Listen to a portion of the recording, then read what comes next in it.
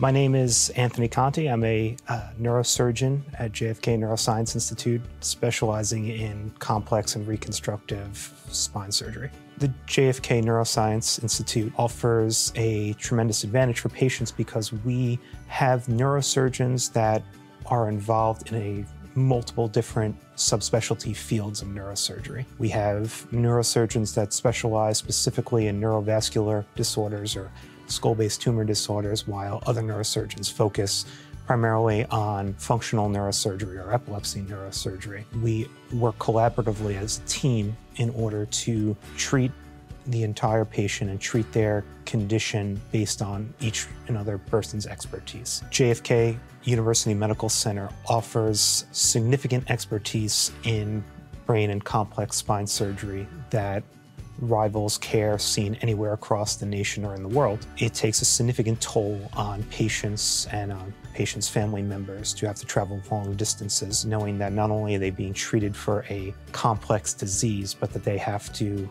travel potentially several hours while in pain when they can receive excellent comprehensive care right next door and can be in a setting where they know that their loved ones are well taken care of.